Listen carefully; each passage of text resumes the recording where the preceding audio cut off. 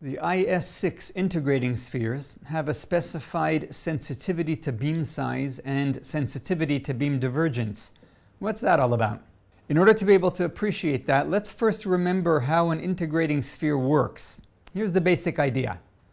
The inner surface of the sphere is coated with a highly diffuse white coating. The beam enters the sphere through an opening, and because the inner surface is so highly diffuse, the light is reflected multiple times in all directions. This causes the light to be uniformly distributed around the entire inner surface of the sphere, in theory. It's actually subject to a number of technical details and assumptions.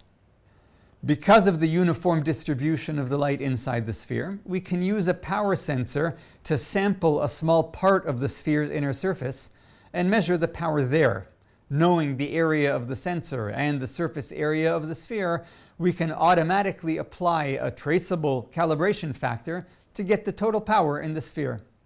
Now back to our divergence angle and beam size. As the divergence angle of the beam entering the integrating sphere increases and as its diameter increases, the assumptions on which we base the sphere's performance infinite reflections inside the sphere walls, perfectly uniform distribution of light inside the sphere, become less correct.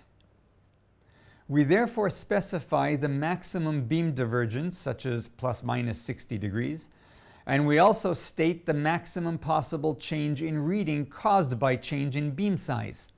In fact, we also state in the datasheet that the maximum additional uncertainty due to beam size is only plus minus 1 for beam divergence less than 30 degrees and plus minus 3% for beam divergence greater than 30 degrees.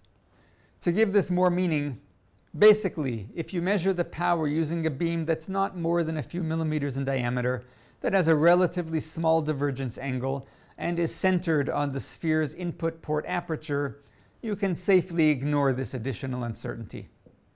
To learn more, contact Ophir directly or via your local Ophir representative or visit our website.